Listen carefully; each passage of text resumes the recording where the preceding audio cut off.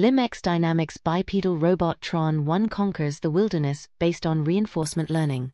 This video was shot during an experiment on Tanglang Mountain in Shenzhen. Although it may not look very elegant from a Japanese perspective, it is quite resistant to side impacts and stress, and has advanced posture control and fall recovery. We use zero-shot learning, which allows the robot to respond to unknown situations based on what it has learned in the past. The 20 kg robot can carry up to 10 kg on its back on flat ground, concrete or asphalt.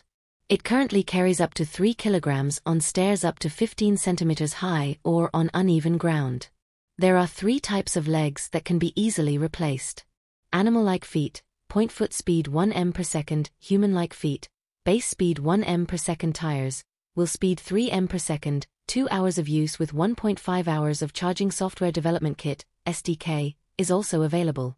Customers can freely design it.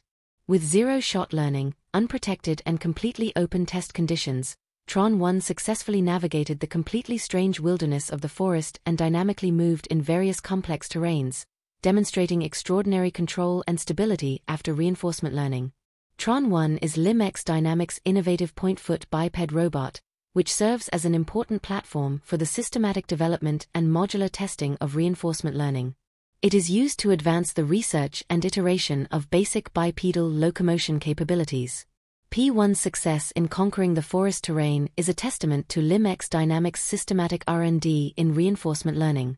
Beyond movement, LimX Dynamics continues to make breakthroughs in manipulation and motion manipulation in humanoid robots, with further developments to come in the future.